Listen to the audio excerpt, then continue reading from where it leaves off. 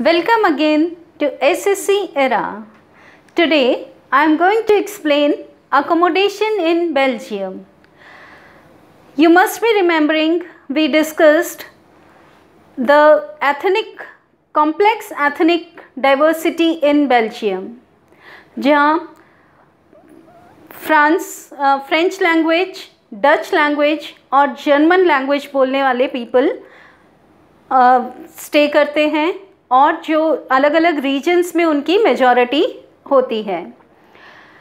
But Brussels को अगर हम देखते हैं बेल्जियम की कैपिटल को, वहाँ एक ऑपोजिट कॉम्बिनेशन हमें देखने को मिलता है।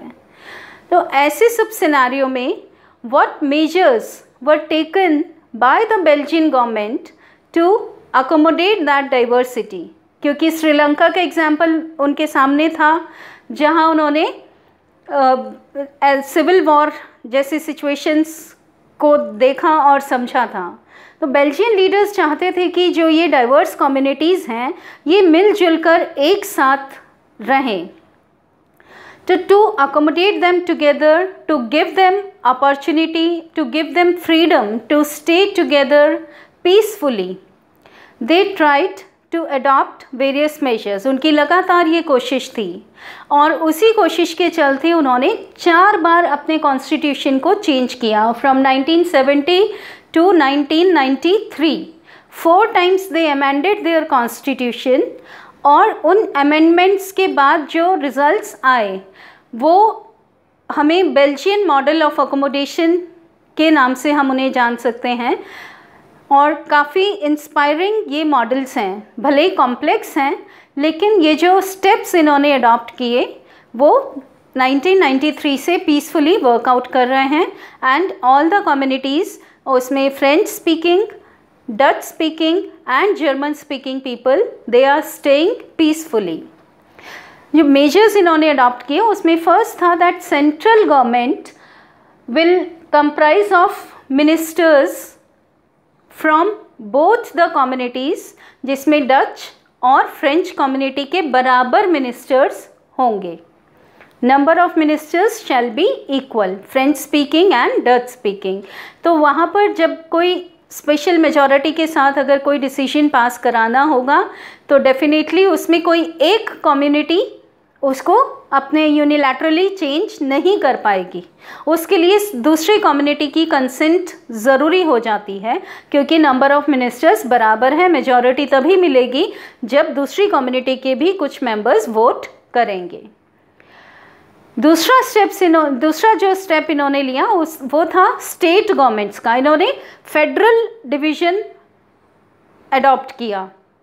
जो श्रीलंका में नहीं था, वहाँ तमिल्स डिमांड करते रहे कि उनको सेपरेट रीजन एक दे दिया जाए स्टेट गवर्नमेंट एक बना दी जाए बट उन्होंने फेडरल जो डिवीज़न था उसको नहीं मान के यूनिटरी गवर्नमेंट को ही चलाया। लेकिन बेल्जियन जो गवर्नमेंट थी, इन्होंने फेडरल डिवीज़न को प्रमोट किया, जहाँ स्टेट गवर्नमेंट्स जो दोनों रीजन्स थे फ्लैमिश रीजन और वेलोनिया रीजन हमने पढ़ा था, दोनों रीजन्स में स्टेट गवर्नमेंट्स इस्टेब्लिश हुई। Some powers of the central government were given to the state governments and जो सबसे बड़ी बात थी वो ये थी कि state government was not subordinate to the central government state government के पास अपनी ऑटोनॉमस पावर्स थी। वो किसी भी तरह से उनके ऊपर डिपेंडेंट नहीं थी। तो ये दो स्टेप्स थे। तीसरे स्टेप की हम बात करें तो इन्होंने ब्रुसेल्स में एक सेपरेट गवर्नमेंट इस्टेब्लिश की। ब्रुसेल्स में जो गवर्नमेंट थी, उसमें भी उन्होंने वही प्रपोर्शन रखा कि जो मिनिस्टर्स होंगे डच स्पीकिंग और फ्रेंच स्पीकिंग बराबर होंगे। भले ही यहाँ पर जो इनका डिवीज़न था, वो उल्टा था Dutch were in minority only twenty percent were Dutch but they accepted it क्योंकि ओवरऑल जो गवर्नमेंट हम बात कर रहे थे सेंट्रल गवर्नमेंट की तो वहाँ पर भी उन्होंने एक्सेप्ट किया था ये डिवीज़न वहाँ पर उन्होंने जब बराबर बराबर मिनिस्टर्स को अडॉप्ट एक्सेप्ट कर लिया था, क्योंकि वहाँ फ्रेंच माइनॉरिटी में थे तो ब्रुसेल्स में भी जहाँ फ्रेंच मेजॉरिटी में थे, उन्होंने एक्सेप्ट कर लिया, यही डिवीज़न की बराबर मंत्री रहेंगे। एक और जो स्टेप इन्होंने लिया, वो था कम्युनिटी गवर्नमेंट का। बिकॉज़ वहाँ अलग अलग लैंग्वेज बोलने वाले लोग हैं तो जैसे जर्मन फ्रेंच एंड डच तीनों लैंग्वेजेस के लिए लोग अपने अपने कम्युनिटी की वोट कर सकते हैं, जिससे कम्युनिटी गवर्नमेंट वर्क फॉर्म होती है और उसका काम होता है to promote their own language their own culture तो इस तरह के ये जो मेजर्स हैं, हमें कॉम्प्लिकेटेड लगते हैं कि कैसे ये सब मैनेज होती होंगी, कैसे डिसाइड करेंगे कि ये मंत्री है तो इसको कौन सा पोर्टफोलियो देना है फ्रेंच मंत्री है या डच मंत्री है? बट 1993 से फ्रेंच पीपल ने इसको एक्सेप्ट किया and they are living peacefully since then this is called accommodation of accommodation in Belgium या model of accommodation in Belgium Belgian model के नाम से भी ये जाना जाता है, और एक एग्ज़ाम्पल सेट किया जाता है, कैसे हम डाइवर्सिटी को अकोमोडेट कर सकते हैं। ये इतना इन्फ्लुएंशियल है कि जब यूरोपियन यूनियन फॉर्म हुआ तो इन्होंने अपना हेडक्वार्टर्स बेल्जियम के कैपिटल ब्रुसेल्स में इस्टेब्लिश किया।